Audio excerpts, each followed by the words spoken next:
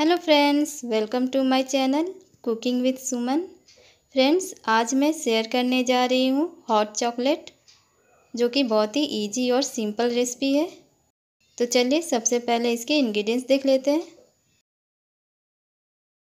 Milk Bournvita चीनी और dairy milk तो चलिए अब बनाना शुरू करते हैं। एक बर्तन में हम दूध डाल देंगे। और गैस को ऑन कर लेंगे। इसमें हम डालेंगे वन बीटा चीनी और डेरी मिल्क डाल देंगे।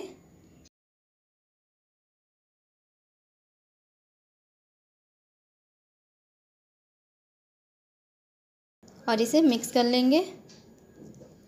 इसे अच्छी तरह से मिक्स कर लेना है।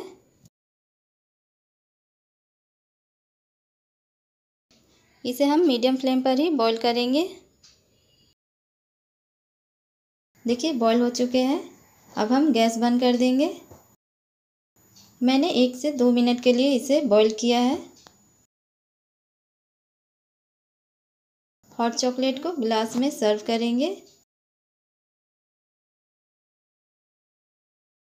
और फिर इसके ऊपर हम मेल्ट किए हुए चॉकलेट डाल देंगे।